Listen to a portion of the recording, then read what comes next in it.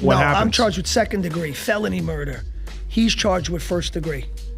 And uh, how long did you fight the case for? I was there for three years. Before, You were in jail. Yeah, for, for three years. I- uh, were you at Rikers? Yeah, it was Rikers.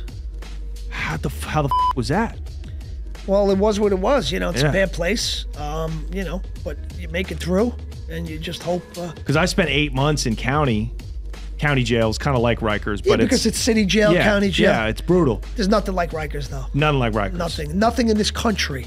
There's No. not nobody like as far as a jail.